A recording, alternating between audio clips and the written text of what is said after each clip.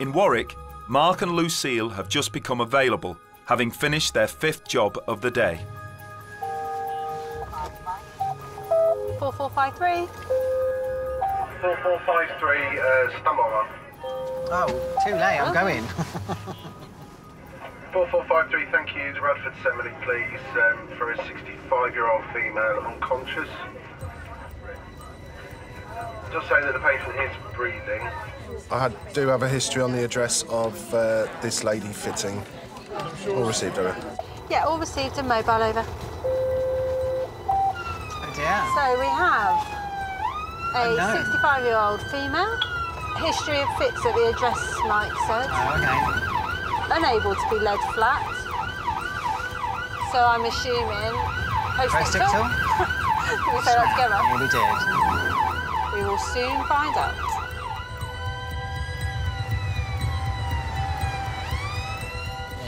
Go. Right, where's one park? Let me just see, that might be his car. Pull this one out of the way. If you Come in here. could, then Brilliant, that'd be thank great. Thank you very much.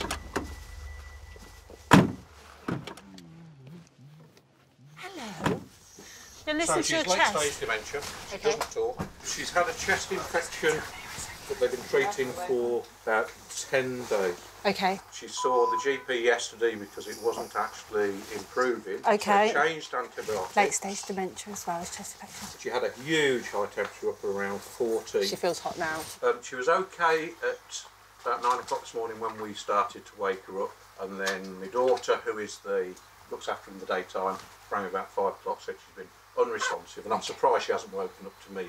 Her chest is, sounds absolutely awful. The, uh, so we know where the infection is. So, chest infection gone septic? Yeah. I thought so. Would you expect that to happen, change dramatically over the course of the day? Yeah, yeah, septic can get quite bad. Right, my lovely. Mark and Lucille suspect Jackie has sepsis, which, if not treated quickly, can be fatal. If caught early enough, sepsis can be successfully treated, so it is important that they get her to the nearest A&E immediately. Need your next of kin details, or you're going to come with us I'll, I'll go with you. I'm in the ambulance. That's Oh, fine. No, you No, can come perfect. that's no problem. So we will um, be going on blue lights as well. There we go,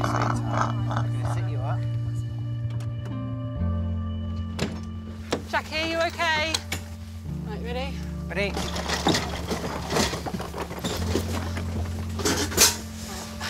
Fluids up. I'm going to get my kit. Yep. All right, my lovely. Let's get you all hooked up properly. You all right? How you feeling? Got your eyes open for me. She's my best friend.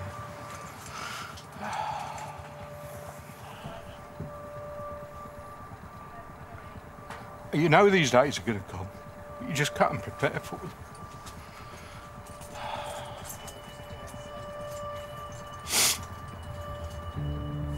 Life goes on. Roger's going to come with us, all right? Okay. There we go. Let's get you up there. If you just want to sit on the chair on the left, the first chair on the left. Yep. That's it. Sorry. it. It's all right, we'll just be going with blue lights, so We'll you're pop, all right, your, love. we'll pop your seatbelt on. Thank you. Here we go. Oh, it's a bit. There you go. That's the one. You're all right, you you've don't got you- everything. You've got everything. You're all right. Well, I've got a tablet. That's Okay, all right I've got some pants. I've got some car. That's all you Everything need. in.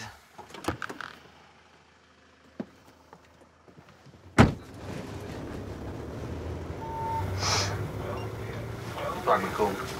Yeah, well, I'm glad you called. She's proper poorly, bless her.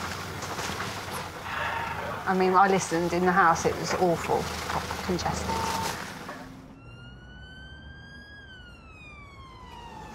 All right, Jackie. You're right, my Hello. I know she opened her eyes earlier for me, which was nice. Is that that bloody siren having a go? Jesus. She's like, well, stop being so noisy. So quite an early age then it took, took her.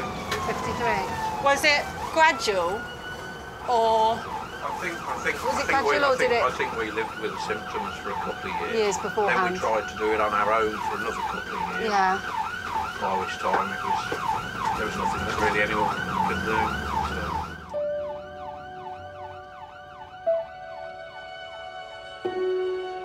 I said to my daughter this morning, I'm happy already enough. Oh, it gets too much, doesn't it? It is, yeah. Yeah, very tearful at the moment, very depressed. Don't worry, it's fine.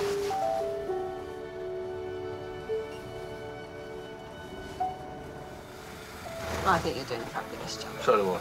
There you go. Agreed. Unpaid. Unpaid.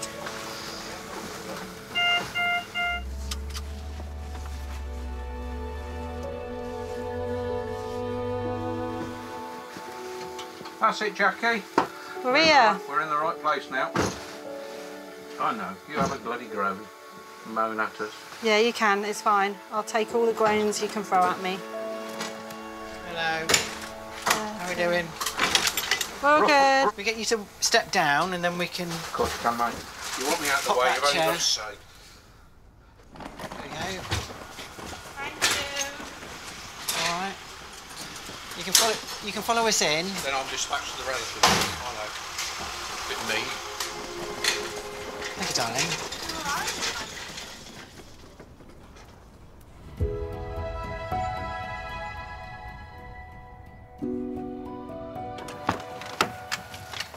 Oh.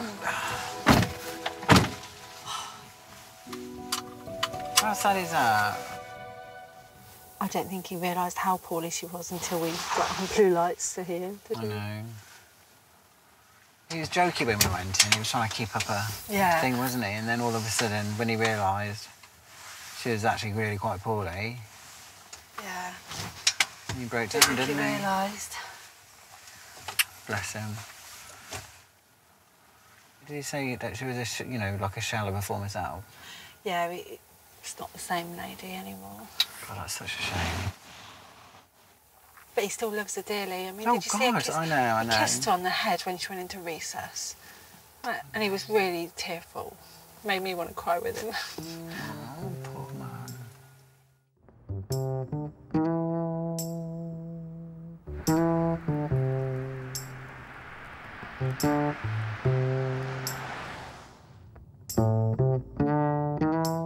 This is a job that's constantly changing. There are a lot more jobs now. There's a lot more pressure on the service. There's a lot more strain. But I think there's definitely something in us that makes us want to do the job. You can't do this unless you wanted to help people.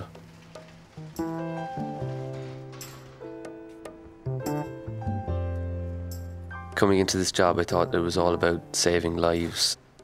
I knew we weren't going to be doing that all day, but I certainly thought it was going to be a big part of it. I think you quickly understand that you don't have to save a life to make a life changing, positive impact on someone. And that's why I'll continue to do what I'm doing. Sometimes we know, sometimes we don't. Sometimes we give, sometimes we won't. Sometimes we're strong, sometimes we're wrong. Sometimes we cry. Sometimes it's bad when the going gets tough.